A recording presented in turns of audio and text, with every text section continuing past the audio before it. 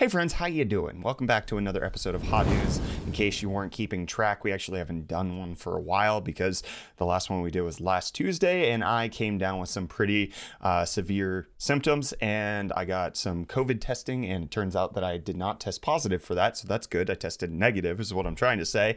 So I don't have that, but I've just been in a really off place for the entire past like week, essentially. Anyways, we got some housekeeping stuff to talk about. Number one, we are doing our annual charity 24 hour live stream this coming Friday, and we've got a big announcement to show for you.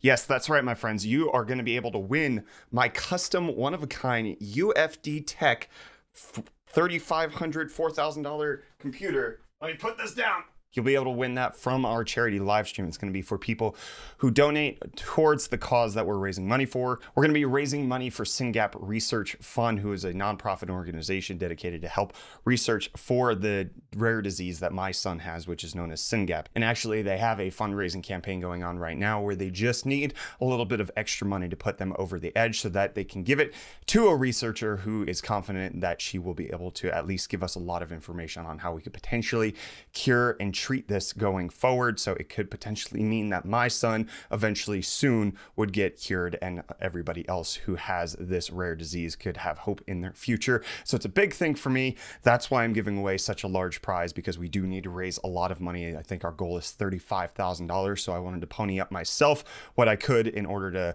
incentivize the donations for that. But we also have other companies coming in and partnering with us, such as today's video sponsor, Ting. They're actually going to be giving away three Galaxy Galaxy A20s on the stream on Friday. But Ting is the mobile phone carrier that does things differently. This is the ad spot time. This is the sponsor part. And you, you should totally check them out because you pay for what you use, whether it's the minutes, the text messages, or the data. You can check the rate calculator and find out, am I going to pay less with Ting? Because more often than not, you will. The average Ting bill is $23 a month, and I pay for two Ting lines, and my average phone bill is $23 for both of them. So that's like $12.5 each. Anyways, you can use the link in the video description, ufd.ting.com, to save $50 off your first bill with them for the month of August. And if you're worried about coverage, don't because they have the T-Mobile slash Sprint network, which they're the same thing now, as well as just adding Verizon. So they cover a whole host of different mobile phone carriers. You bring your own phone, you get it good. And then with the link in the video description,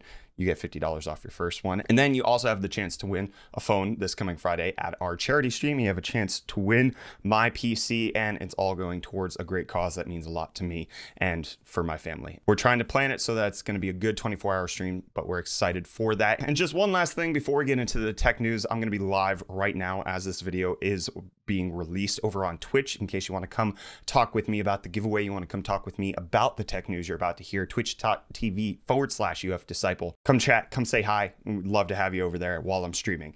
So let's get into it. Let's get into the NVIDIA news because there was a whole lot that dropped in the week that I took off. Number one, the least exciting one is that the PG133A board passed the RRA certification in Korea, essentially just meaning they can produce this. It's safe. It's hopefully not going to kill anybody. I actually don't know if it means that. They, they might become sentient and murder us. But what will murder your power supply and your computer is the fact that we talked about previously that there was going to be a 12 pin power connector on the RTX 30 series cards. Turns out Seasonic confirming that is reality. It is an NVIDIA 12 pin PCI Express Molex Microfit 3.0 connector. You take two 8 pins, you connect them to the NVIDIA 12 pin, and there you go. It's an extension, and it's recommended that you use it with the power supply that's rated at 850 watts or higher and that is insane. You see the picture. They are calling it the NVIDIA 12 pin. This is not necessarily just a regular standard. This is going to be branded NVIDIA. So GeForce certified power supplies coming your way. This could honestly, because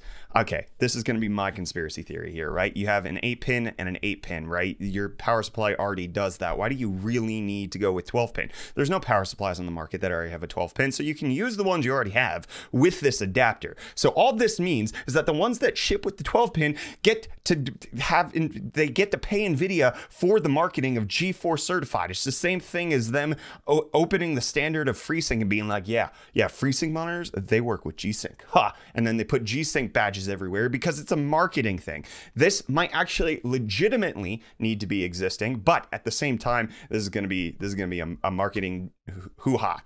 So there's just some information from Seasonic. It, apparently, there's no NDA on the 12 pin power connector, and the power supply manufacturer will have to increase the cost of the bonus line. So, do you have a regular power supply or do you have an NVIDIA certified power supply? You don't? You noob, why don't you buy AMD? Because you're poor. That's essentially what this is going to mean. It's going to be huge flexing. Speaking of huge, we got pictures of the RTX 3090 next to a 2080, and damn, that he's thick.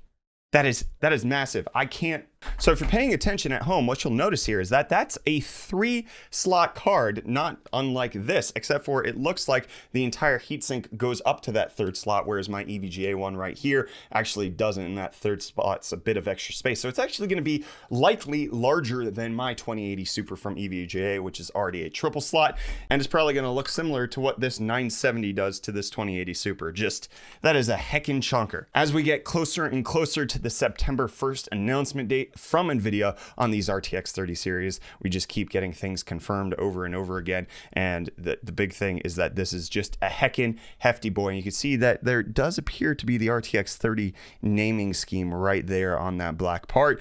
I am excited for this. I am terrified of what that's going to do to case airflow. My friend Wesley Fick from South Africa made this helpful little chart for what you need to know. You got the intake, you got all that going on, you got the hot little potato of the 3090, and then just general panic down here because the fans are blowing in opposite directions and creating a gigantic uh, confusion of what's going on. But there's not confusion when it comes to the fact that we got to start marketing for these 30 series cards. And Galax and Gainward are doing exactly that, releasing promotional teasers for the fact that the 30 series should be launching sometime soon. And while we wait for the launch of the 30 series, NVIDIA is not waiting on making money. They came out with their Q2 earnings talking about how they made nearly $4 billion in one quarter. But for the first time ever, gamers, you and I, accounted for under half of their revenue. With that coming in at 46%, but now it's the data center that's the big money. 54% of their revenue went to that. It's possible that that will likely change with Q3 and the launch of the next generation of gaming cards. Gamers will actually pick them up. Q2 obviously saw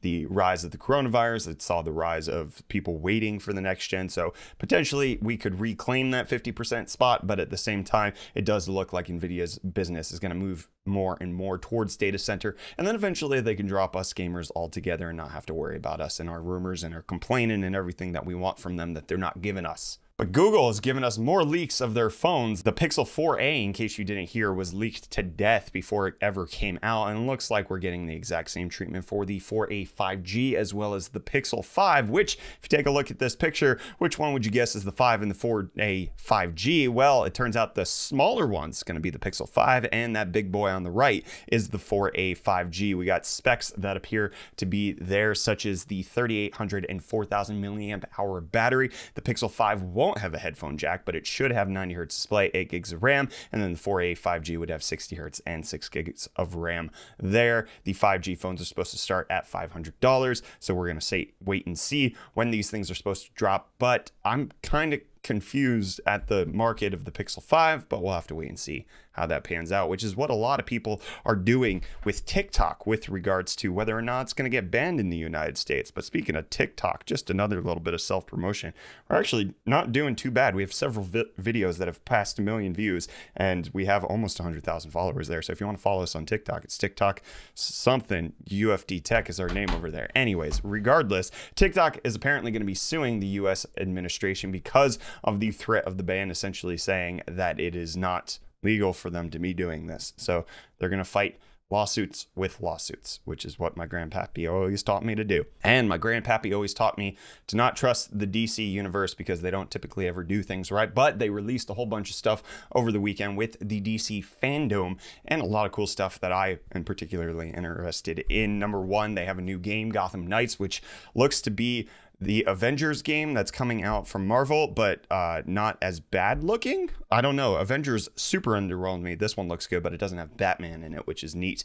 The trailer for Zack Snyder's cut of Justice League also got dropped as well. In case you want to see that, it does look like a completely different movie. Apparently, they had tons of extra footage to work with. And then the thing that I was most excited about was the trailer for The Batman, Matt Reeves' new version of the Batman movie. I think the scene that sealed it for me as to how uh, different this is going to be is this one right here, where Batman decides to beat up a goon and just keeps going, keeps going. And then when he's down, he keeps that. This is just a different tone than anything I've seen. So this is crazy. The uh, stuff coming out of DC fandom is quite cool. I'm excited for uh, Edward Cullen to be the Batman because that would make sense if he's a vampire and he's a Batman. I'm sure somebody's already made that joke. I'm sorry. People make the joke about can it run Crysis all the time, and you don't hear everybody telling them to shut up, except for I do. Anyways, Crysis Remaster finally got its release date September 18th. It apparently is going to have features such as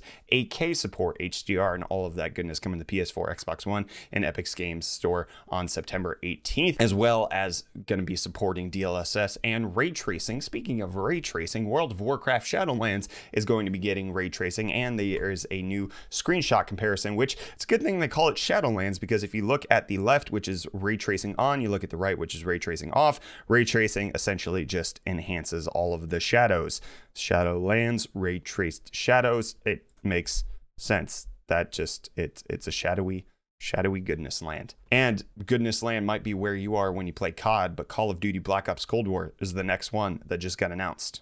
Speaking of more games, Hitman 3 is being confirmed that on PC it's going to be Epic Games Store exclusive, which you can discuss down below in the comments whether or not you like that. Then we also got the fact that the robot revolution is coming faster than we thought, with Heron Systems AI pilot uh, able to beat human pilots in a dogfight. This was in a trial event where the AI beat a human pilot five to nothing. The human pilot was using VR, so that might be a slight disadvantage, but in simulators such as this, it should be roughly the same anyways. When they take over, they can kill us in the sky. Good stuff. And they could do it quickly with the super fast internet, with researchers now having a new fiber optic speed record of 178 terabits per second, which is 20% faster than the previously recorded fastest internet speed. This is University College London coming out and setting the record and just being Kerchu in all of that. And I know that the intro to this was not Kerchu. I'm sorry for that. I appreciate you guys for uh, sticking with me on that. Don't forget that this Friday is our upcoming 24 hour charity live stream. We're going to be raising money for my son's rare disease. You can potentially win